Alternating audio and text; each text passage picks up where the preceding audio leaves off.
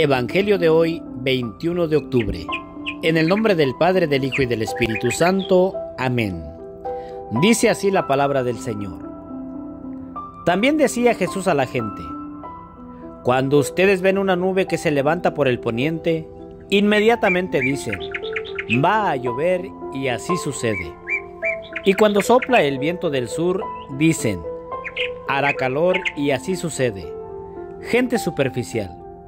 Si ustedes saben interpretar el aspecto de la tierra y del cielo, ¿cómo es que no comprenden el tiempo presente? ¿Cómo no son capaces de juzgar por ustedes mismos lo que es justo? Mientras vas donde las autoridades con tu adversario, aprovecha la caminata para reconciliarte con él. No sea que te arrastre ante el juez y el juez te entregue al carcelero. El carcelero te encierre en la cárcel yo te aseguro que no saldrás de allí hasta que no hayas pagado el último centavo.